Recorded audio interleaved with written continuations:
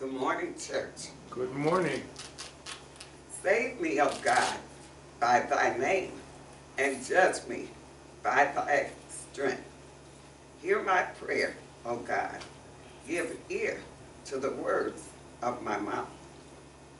For strangers are risen up against me, and oppressors seek after my soul. They have not set God before them. Behold, God is mine helper. The Lord is with them that uphold my soul. He shall reward evil unto mine enemies. Cut them off in thy truth. I will freely sacrifice unto thee. I will praise thy name, O Lord, for it is good. For he hath delivered me out of all trouble, and mine eye have seen his desire upon mine enemies. I read to you from the 54th division of Psalms, and may the Lord add a blessing to the reading and hearing of his word. Most Holy Father, we come to you this morning with bowed down heads. Just want to thank and praise you, Lord, for you're a good God, a good God, a God that can do anything but fail.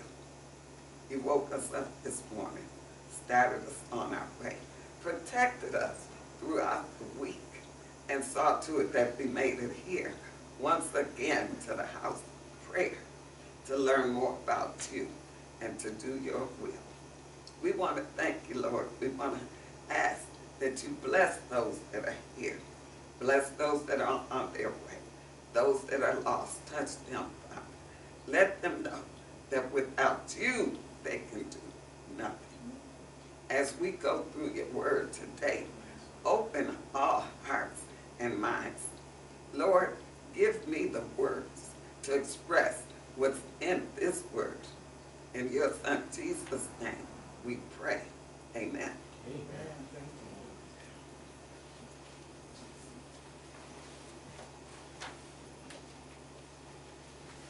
Our lesson today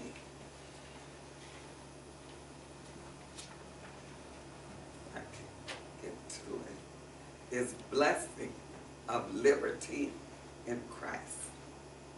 Coming out of Galatians chapter 5, verses 1 through 17. And we'll go around the room as quickly as we can.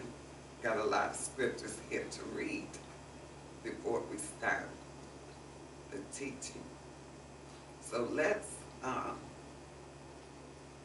start this morning with Sister Winston. You would read verses 1 through 4, and Christina read 5 and 6. Stand fast, therefore, in the liberty wherewith Christ hath made us free, and be not entangled again with the yoke of bondage. Behold, I, Paul, say unto you, that if you be circumcised, Christ shall profit you nothing. For I testify against to every man that is circumcised, that he is a debtor or to do the whole law. Christ is become of no effect unto you. Whosoever of you are justified by law, ye are fallen from grace. For we, for we, through the Spirit, wait for the hope of righteousness by faith. For in Jesus Christ, neither circumcision availeth anything, nor uncircumcision, but faith which worketh by love. And Deacon Prince, if you would read 7 through 12. Ye did run well. Who did hinder you that ye should not obey the truth? This uh, hurt persuasion cometh not of him that calleth you. A little leaven leaveth Lebanon,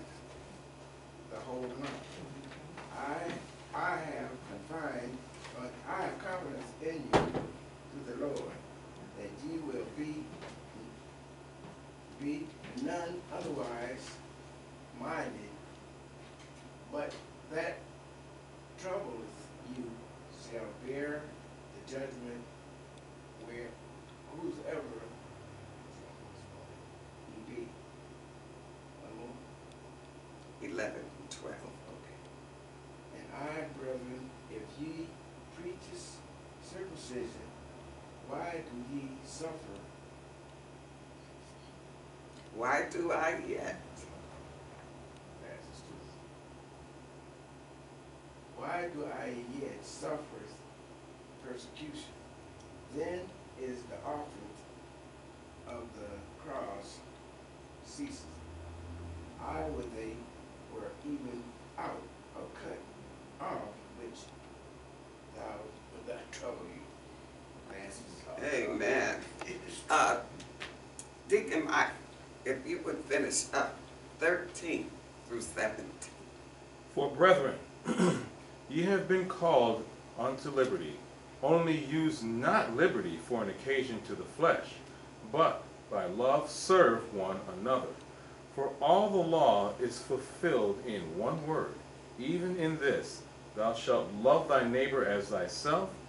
But if ye bite and devour one another, take heed that ye be not consumed one of another. This I say then, walk in the Spirit, and ye shall not fulfill the lusts of the flesh. For the flesh lusteth against the Spirit, and the Spirit against, against the flesh. And these are contrary the one to the other, so that ye cannot do the things that ye would. Amen. Blessing of liberty in Christ. The lesson uh, outline is in three parts. Remaining in liberty, the threat to liberty, the proper use of liberty, the time, probably AD 48, and the place from Syrian Antioch. The, uh, today's aim, the facts, to clearly see the contrast drawn between a life under the law and a life under grace. The principle to understand that we are saved by God's grace, not by our works, even though we have the tendency to feel like we need to always be mm-hmm. adding something in.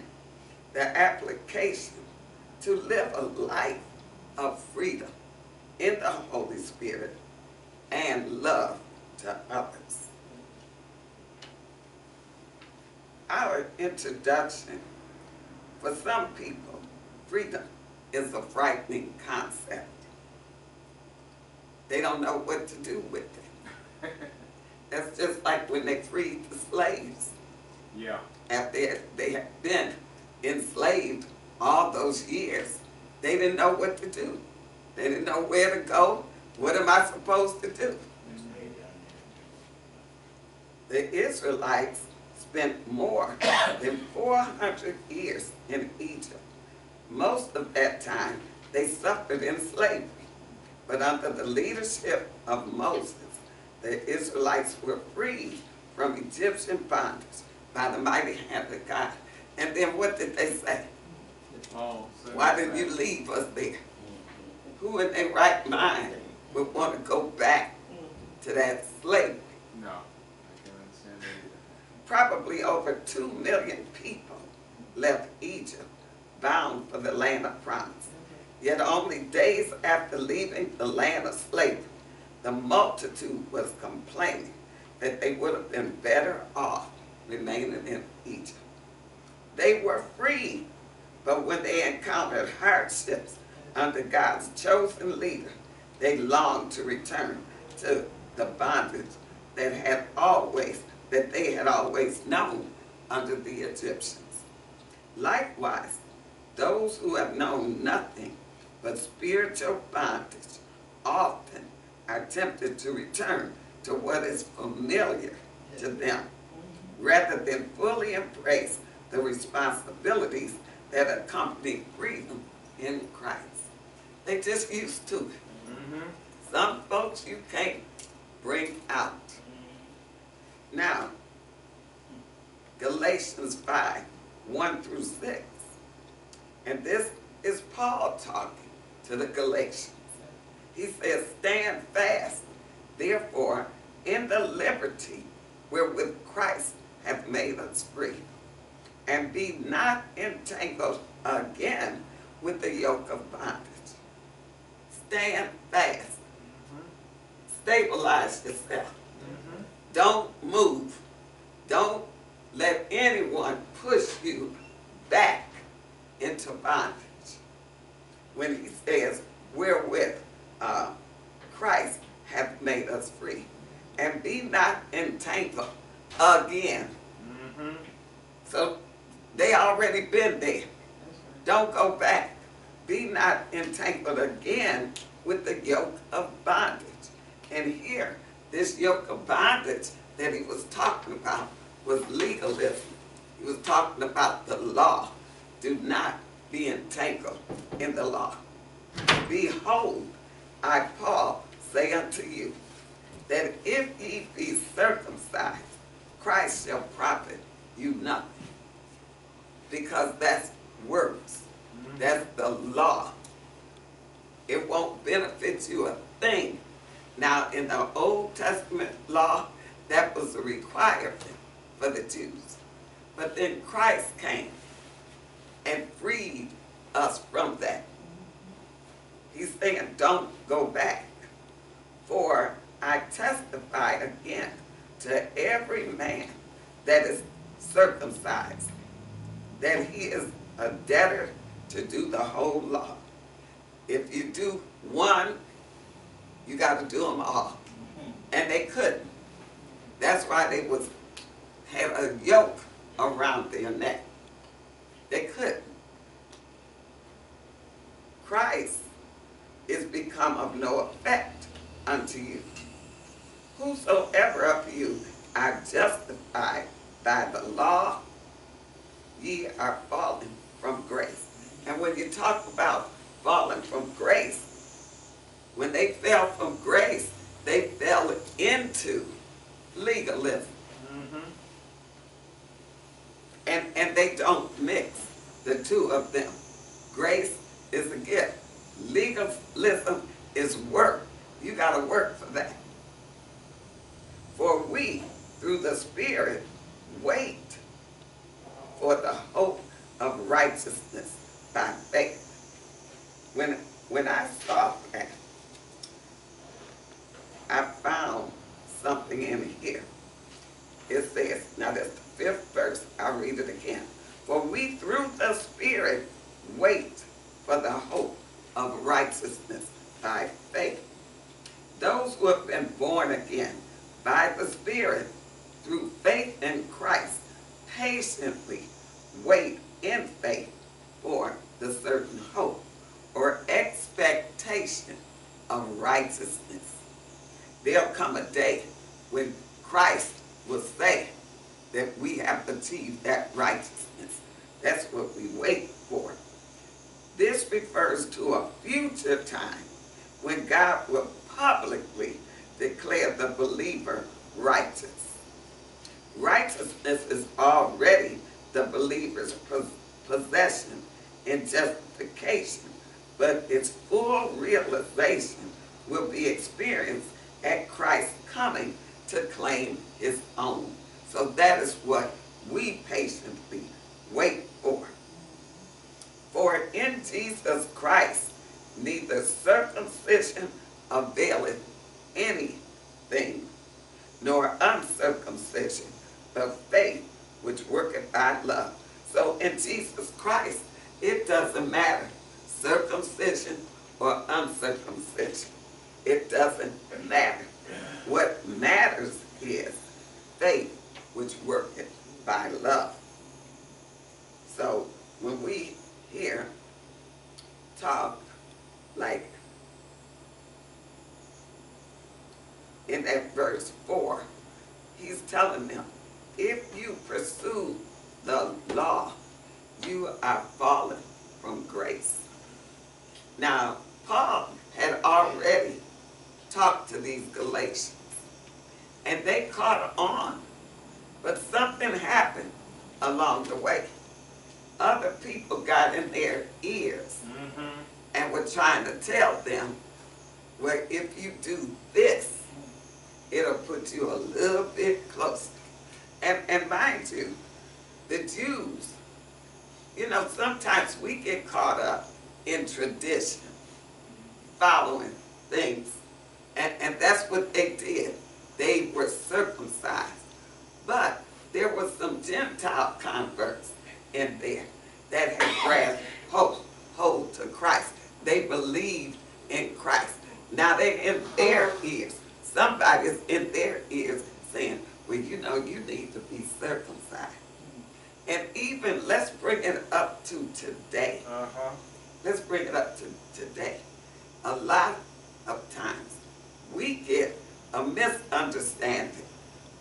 I'll give you an easy one. Bapt, water baptism. There's nothing at all wrong with water baptism. But we do it to identify with Christ's death, burial, and resurrection. It doesn't put us any closer. It doesn't bring us any closer to salvation or any of that. But you get somebody in your ear telling you gotta be baptized. The minute they join the church, you gotta be baptized. Well, do you? Is it gonna take anything away from you? If you're not, that's water baptism. Mm-hmm. That's not spiritual. And so we have to be careful about things like that because it becomes a work. There's nothing wrong with it, but when Christ died on the cross, he did it all for us. We don't need to help him in any way. And we have a tendency to always be trying to help, remaining in liberty. He said Christ has made you free. Stay free. Don't let people burden you with these things about what they want to tell you. You have to do. Believe and have faith in what he has already done. Any questions or comments in the first section, remaining in freedom? When I read it, the first thing that came to my mind was that a lot of people get caught up not only in the baptism, but the Lord's Supper. But it's a commandment that we do it. It's not something that we to earn our salvation. And Exactly. we need to emphasize just that. And God said something, it for a reason. And he has a plan. And I like how Paul came forth, uh, in this lesson, this particular lesson, like I said, you have to take the Bible in this whole, that once you come to it, you shouldn't just take what everything a man say, because the Bible tells us, once you hear someone speak, you're supposed to be able to go back to the Bible and see that God said. He says, search the scripture. So it's no reason for us to wonder. That's when we have a doubt, because we start using our mind and saying, oh, I need to do this, oh, I'm gonna look and see how they do this, but God done told us that we are supposed to be doing to his word. I like how he was saying that a lot of things was coming out. People gonna tell you, you got to do this, you got to do that, but remember, false prophets make it look so good and sound so good. But that don't mean that it's God, it's from God. So it, it behooves us to know that it, that we cannot do anything to earn our salvation. It's a gift. A gift, you don't pay nothing. You just Mhm. receive it, and that's what God is calling, uh, letting Paul say. Just receive that what God did, he sent his son, he died on that cross, and it's finished. Ain't nobody got to add nor take nothing, uh, with it. So don't add nor take away, but stated just like Jesus said. Your salvation came through what Jesus did. And there's nothing that you can do to earn Nothing. it. Nothing. And Deacon Mike. What I had, I was, when you were reading the introduction, Mhm. I know this is getting a little bit off topic, a little bit, but you said right here, those who have known nothing but, but spiritual bondage Mhm. often are tempted to return to what is familiar to them. Right. And uh, I know it sounds crazy, but the first thing I thought about was the movie Shawshank Redemption, when this guy, he was finally free, and he wound up killing himself because he didn't know he didn't know what to do. Didn't know. And they didn't know where they were, just like the Israelites, just like the children of Israel. They were gone. They, they were they were out, but they, just one little hardship, and all of a sudden they're ready to turn back to bondage. Yeah. No, ah, The one who freed you is going to protect you still. Mm-hmm. Amen. Yeah. That's a good example too. Now, the threat to liberty. That's verses 7 through 12 he did run well. Who did hinder you that he should not obey the truth? Now, Paul is saying to him, you started out great. Mm -hmm. You took hold to what I told you. You believed in Christ. Mm-hmm. And you were running, mm-hmm. but somebody got in there and hindered you. Who?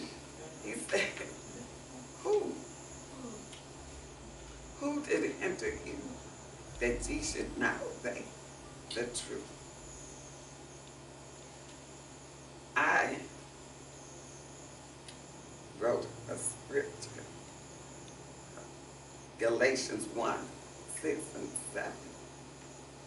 I marvel that ye are so soon removed from him that called you into the grace of Christ unto another gospel, which is not another, but there be some that trouble you and would pervert the gospel of Christ. And that's why we have to be careful who we listen to. Mm-hmm. Search the scripture for yourself. You can't take hold and latch on to everything that somebody tells you just because they're coming from the pulpit. Mm-hmm. Because we all make mistakes. We're not perfect. We're not. So Paul wanted to know who did hinder you that ye should not obey the truth. This persuasion cometh not of him that calleth you, and the him that calleth them was God. I know you didn't get it from him Mm-hmm. is what he's saying. A little leaven leaveneth the whole lump. That's like a little lie. One person can tell that lie. And somebody else get it. They got it and gone. You ever heard somebody come to you and say, you know, so-and-so died. Oh, they did? When? Yesterday. So-and-so told me. And then now you on the phone calling somebody else that knows so-and-so. Oh, I just heard so-and-so died. And then you find out so-and-so is not dead. It has happened. Oh yeah. Yes, it has. One of my It has happened. Yes. We have to be careful. With stuff like that. And here, that leaven in this scripture, because when we hear we usually think about sin, you know, a little bit of sin becomes a, a lot of sin. You know, it, it just carries down. Uh, but here we're talking about legalism, all right? So think about it this way. A little bit of the law spoils a whole month. Because in a congregation, you got somebody in your ear telling you what you got to do. Now, you gonna tell sister so-and-so, oh, you know, we got to do that. We, I thought we was finished, but we ain't. Cause we gotta complete this before we're all the way in. You can mess up a whole church mm-hmm. with a little bit mm-hmm. of le a little bit of legalism. Mm-hmm. Uh, Cause there's no such thing. Now, the Jews, when they started counting, they was in at six hundred and thirteen, which ended up being so much more. And then they were di- dividing it into sections. I mean, they had so many laws. It was laws about the material of your clothing. You had to have a certain type of material. There were dietary laws about what you could eat and what you couldn't eat. I mean, the laws were just maddening. They never stopped, and nobody could keep them. Thank God for Jesus. I'm Yeah. I'm laughing on that law about dietary. They were six specific things, but, but, but their food can't touch other food. And I thought that was just weird as heck because it's gonna touch each other when it comes to your stomach. Exactly. So, and I had a client like that too, who showed me how to cook her meal. I'll never forget her. And she said, no, don't put that near there, leave this here, don't put that on that plate, put that on this, this, that, and other. And I asked her, I said, why are you doing this?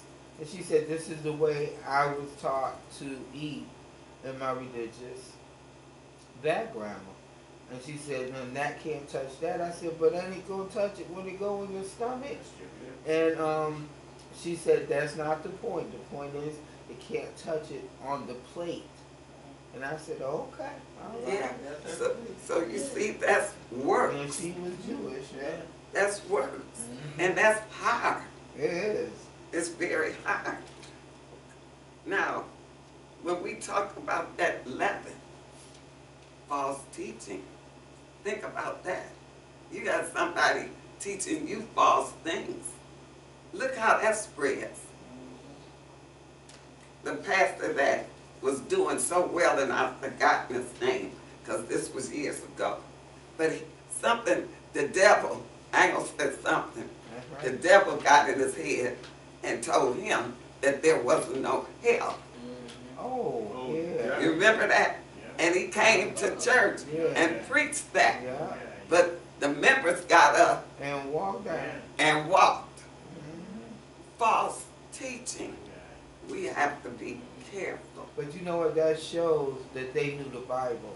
And that's a good You thing. know what I mean? And and when you know the Bible for yourself, soon as somebody say something that don't line up with the word, you automatically know that. It hits you. Yes, You say, yes. now, where did this come from? Yeah.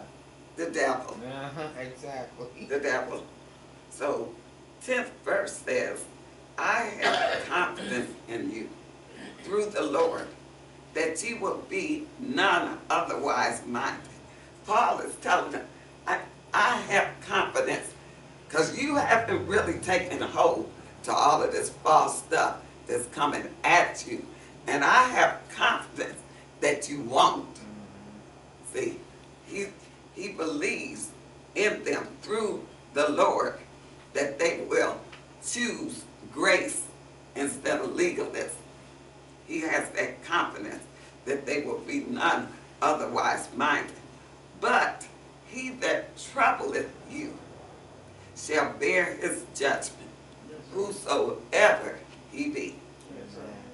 He had that confidence too. Amen. Yeah, because God said vengeance is mine. Amen. When he come in and try to turn his children and his establishment upside down, you will repay, or you will get paid. And I, brethren, if I get preached circumcision, why do I get suffer persecution? Because now the false teachers and the Judaizers were saying, they were falsely accusing Paul and saying he taught circumcision. That's right. It was a lie, but that's what they were telling, and they'll tell anything to turn you off from somebody else. That's right. See, he, he said, but if I was preaching that, then why am I being persecuted? Because That's if he was preaching circumcision, they wouldn't have any reason to come after him. He'd be doing what they're doing. There you go. He telling them, wake up Yeah. and see this picture. He says, then is the offense of the cross ceased. That's what he was preaching. He was preaching the cross. Right. He was preaching crucifixion, Jesus' crucifixion, Jesus' death, burial, and resurrection. If I'm teaching circumcision, then I wouldn't be able to teach the cross. Mhm. They two different things on two different sides of the scale. But people didn't believe what he preached either. They didn't believe that. I would they were even cut off, which troubled you. Mm-hmm. Paul was so disgusted with these Judaizers and the false teachers that he wished, and in our reading it says, he said he wished they was cut off, but it also says that because they were trying to push circumcision on these people, he said, I wish they would castrate themselves. It sounds harsh, but that's the way he felt, you know. Don't push the law. This was Old Testament law. And you done got away from that.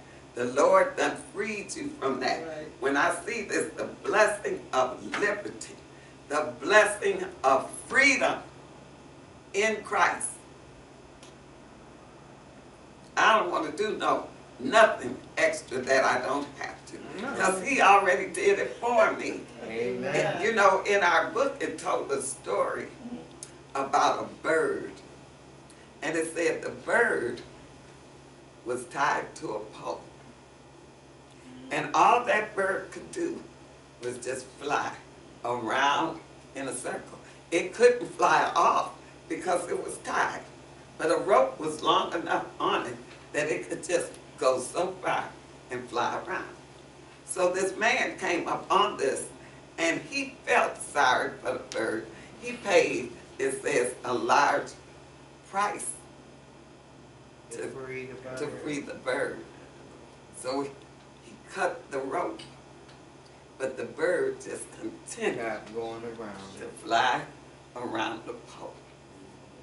Couldn't accept the mm-hmm. freedom. And that's a good example. Yes, it is. And, and even today, people are bound by law, tradition. Mm-hmm. In the, in the church is a place that we need to be really careful because tradition creeps in and it becomes a heavy load on some. You know, we think about um, First Sunday, and it's nothing wrong with being in unity with one another and say, on First Sunday, we're going to wear black and white.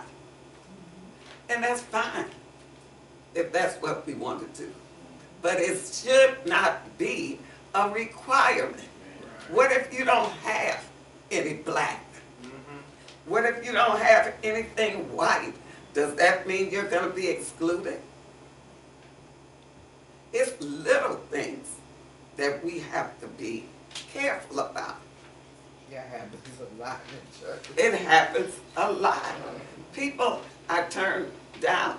Uh, Deacon Prince was talking to me about when he was younger. He wanted so bad to be a part of the choir out there in Lackawanna, that's where he lived. But the requirement was you had to be baptized before you could join the choir. Oh, a lot of churches had that one. Mm-hmm. Works. Works. Why? Why? Nobody ever asked that question. Why do I have to be baptized to sing in a choir? I want to serve the Lord. And that's what his children are here for.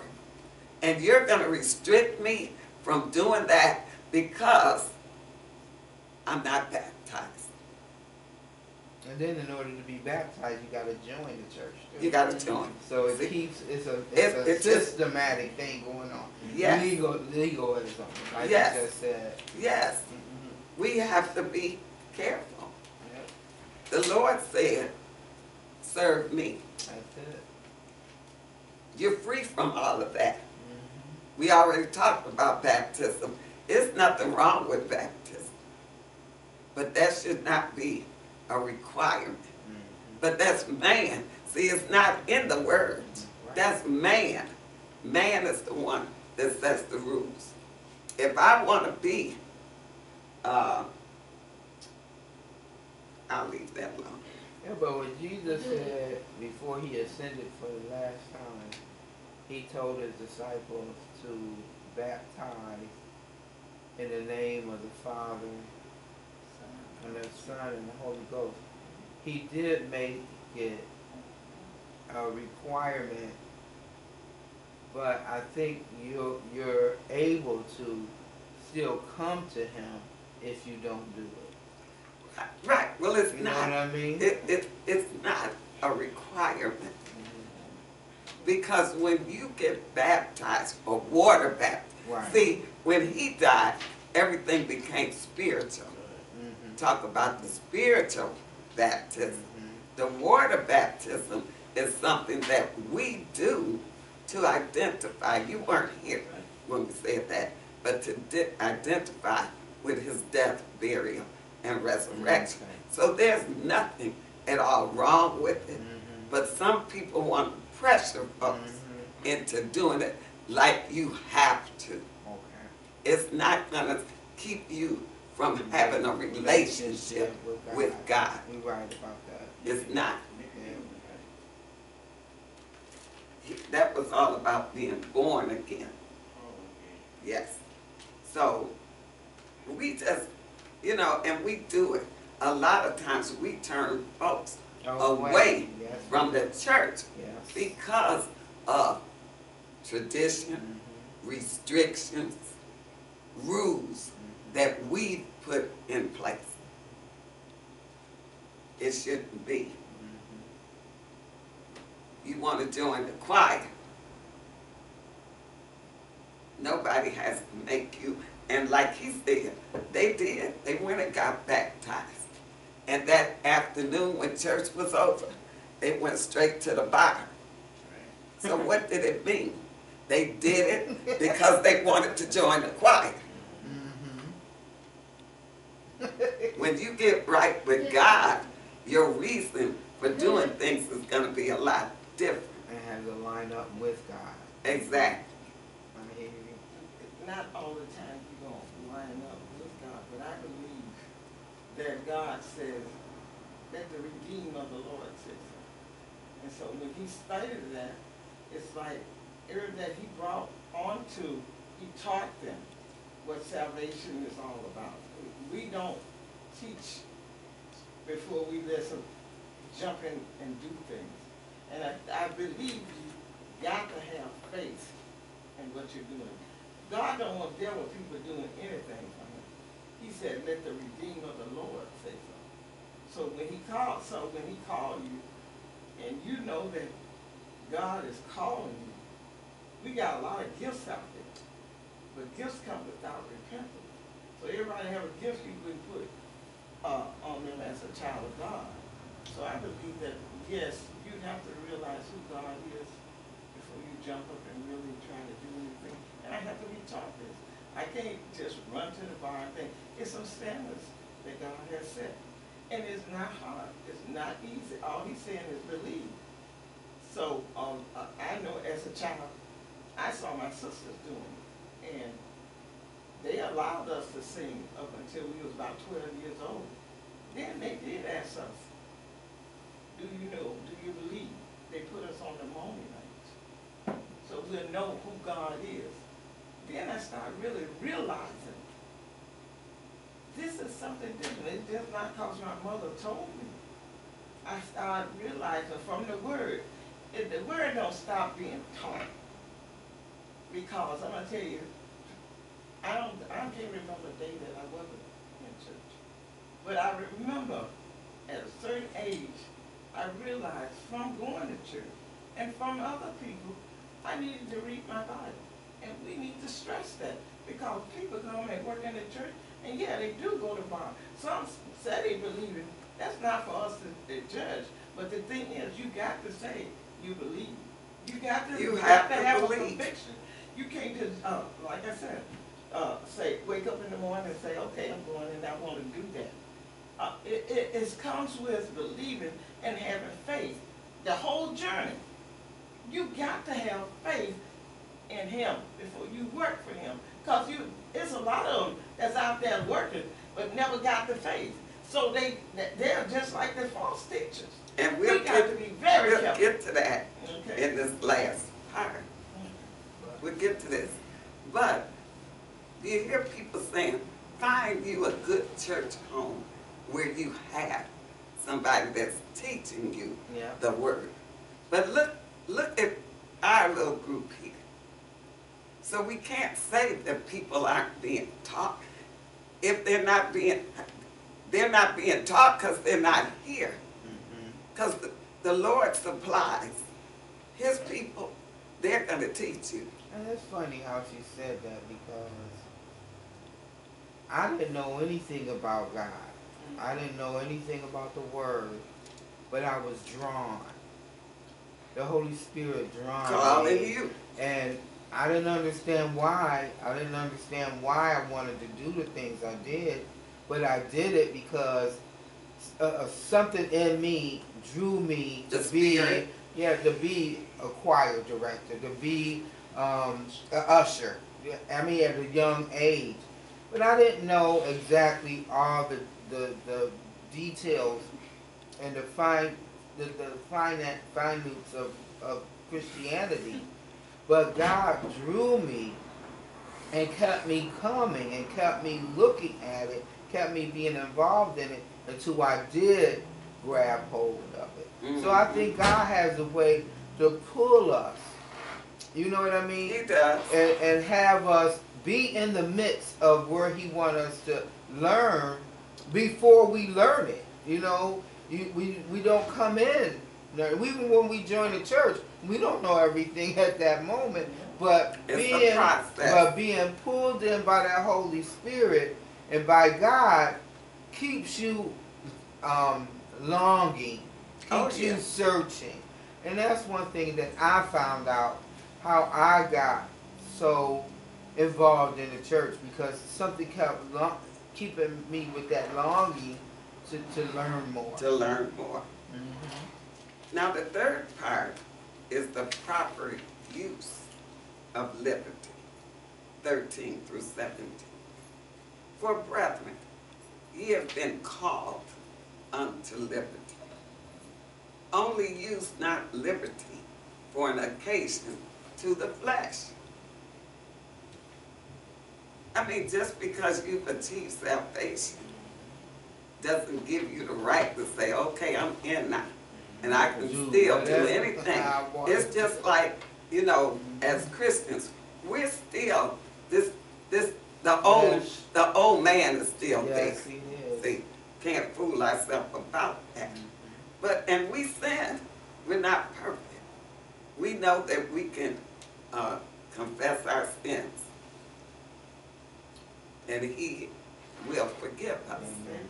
We can repent and ask for forgiveness. But that doesn't give us the right to think we can just do anything doing we want. Mhm. Because all I gotta do is, is just confess it, and I'll be back in right standing. No, that's not the way it goes. So he's saying, ye have been called unto liberty, only use not liberty for an occasion to the flesh, mm-hmm. but by love serve one another. Mm-hmm. By love serve one another. For all the law is fulfilled in one word. Even in this, thou shalt love thy neighbor as thyself. That's what he asked us. Is that easy to do? Mm-hmm. No. But he gave us a helper, the Holy Spirit Holy Spirit. to help us to, to do these things. If we listen, if we follow, if we walk in the Spirit. Because we have a choice. We have a choice. But if ye bite and devour one another, mm-hmm. and a lot of that goes on too, not getting along. Mm-hmm. Take heed that ye be not consumed one of another. When there's constant fighting back and forth, bickering, fighting, you eat each other up. Mm-hmm. He says, be careful of that. This I say then, walk in the Spirit, Yeah. and ye shall not fulfill the lust of the flesh. Now I, let me see what I have here. In Romans eight,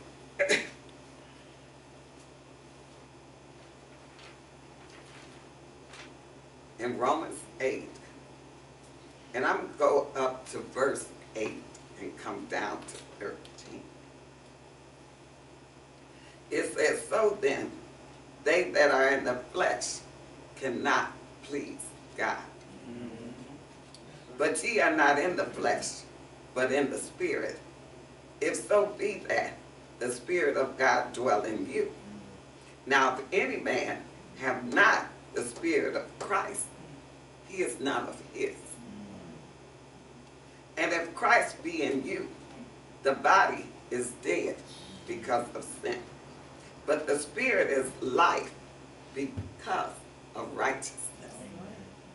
But if the spirit of him that raised up Jesus from the dead dwell in you, hmm. he that raised up Christ from the dead shall also quicken your mortal bodies by a spirit that dwelleth in you.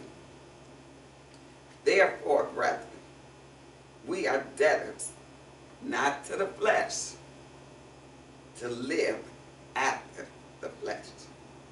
For if ye, verse 13, live after the flesh, ye shall die. But if ye through the Spirit do mortify the deeds of the body, ye shall live. For as many as are led by the Spirit of God, they are the sons of God. The sons of God. And verse 17 says, For the flesh lusteth against the spirit. There's a constant war going on all the time. And that's talking about us, y'all.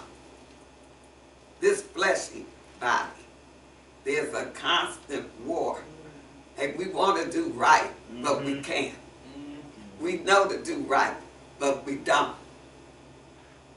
A constant war. And the spirit against the flesh. And these are contrary the one to the other. They don't mix. Okay? So that ye cannot do the things that ye would. I went to Genesis chapter 6 and I ran up on the scripture that I passed pastor speaks on. He want to be here hundred and twenty years. And it ain't nothing wrong with that if the Lord bless him. But we find out that man grieved God with the sinful ways, that that was a punishment to them. Because they have been living so much longer than that. Mm-hmm. Right. So even that 120 years was a punishment because they grieved God. Uh, Genesis 6, I said 3, but I'm going to come in with verse 1. It's talking about the wickedness of man.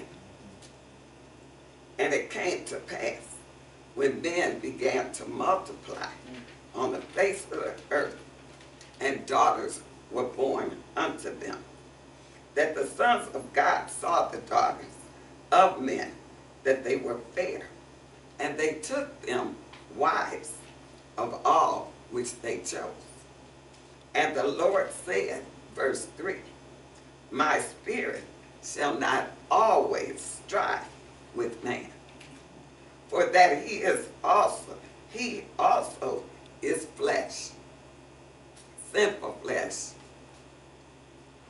Yet his days shall be an hundred and twenty years. Hundred and twenty years.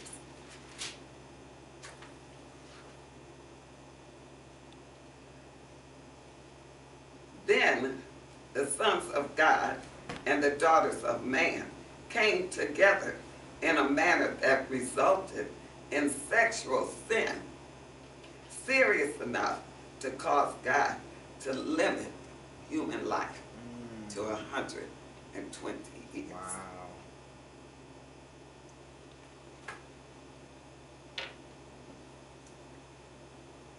Who continually or what continually wins the war?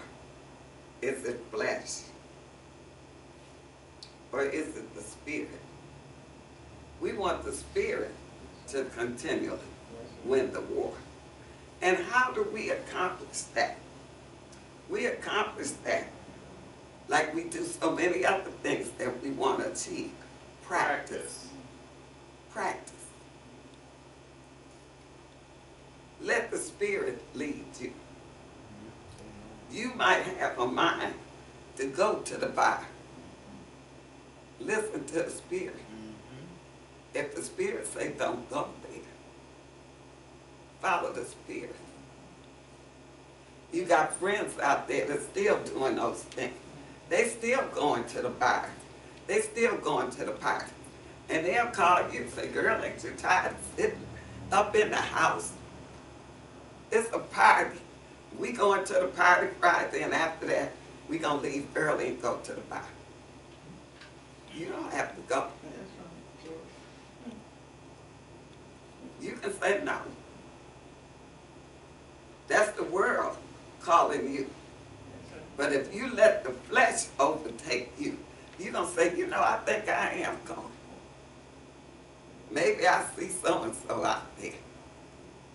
You gotta make a choice. It's a, but the spirit is constantly prompting you to do the right thing. So you want to follow the spirit. You want to habitually follow the spirit. And eventually, you, you when you get used to following the spirit, you won't even want to do those things. At, at first, it might be hard for you, because that's what you used to do. but eventually, I used to go to the bars, Maxie's, every weekend. He would go to work, and at 11 o'clock, he got off on Friday nights, and I would meet him at the bar. But when the Spirit touched me, and he said, You gonna meet me tonight? I said, No, I ain't coming. And the next weekend came. No, I'm not coming. And I, and I did. And I, it was the beginning. I started back at the church, joined the church again, Transition. Yes. And then, after I kept refusing him, he started looking to see what I was doing. That's the way it goes. Yeah. And then he came. Mhm. See? And that's how the spirit works. That's how he leads you. That's how it leads you. So, we have to enjoy the blessing of the spirit, Mhm. of the freedom in Christ. Make it a habit to follow him. If it's the spirit, it proves that we belong to God. That's right. We can't say That's that we belong to him and we run into the bar every weekend. We cussing and fussing, just like the world. Yeah. We being hateful and mean. We gossiping. We backbite. We doing everything that's going against God. We're not following the Spirit, because Spirit ain't gonna lead us that way. That's right. Enjoy the liberty, and don't pick up all that old stuff that He died on the cross for us to have this freedom. Says final word. The thing is, is that the more, I don't care how much you read, how much you say you do, if your love is not in it, it's not a God. That flesh gonna lead you to what you said you love. If you say you love Christ, it'll lead you to Christ. So what do you love? Who are you in love with? Is you in love with the sin? The sin is said, and then you find out when you do those things, you do be saying, oh, I'm going to church, oh, but I shouldn't, you know, I can't do this, and I can't do that. It show you which way you're going. Exactly. That, cause love will change you. Love will want you not to hurt anybody. Love will stop your backbiting. That love will reach out for you. That's you ain't got to worry about if somebody about. gonna check on me if I'm all, all right or not. Love gonna do it. Because God said, that is him. That's an attribute of him. That's right. your attribute. Faith, Yeah. faith in Him Faith. Faith. Hallelujah. leads to love, Yes. and our action is what shows it all. That's We, we can't judge folks, but the action speaks louder than words. Deacon Prince. Tell y'all the truth before I, before I, before I let, uh, uh, go. Back in the sixties, there was a lot of people going to that house. When I went to Maggie's, the whole, any place you went, the church, the church was out there at the bars and stuff too. It was, it was, it was, it was partying, pastor, pastor know that, I'm talking, they was going there, and it was just, that was, it was, it was just rampant out there. People, they working, steel plant, making a little change, just coming, coming from south too, and they ain't never know a situation like this. They was having a good time. God will. All right, everybody ready right there? Amen. Excuse me. I'm lost. Heavenly Father, Lord, I want to thank you, Lord, for another day, Lord, for another day that you have made, Lord. Continue to bless this house, Lord. Continue to touch each and every member of this house, Lord. In the name of Jesus, we pray. Amen. Amen. But if- Amen. if-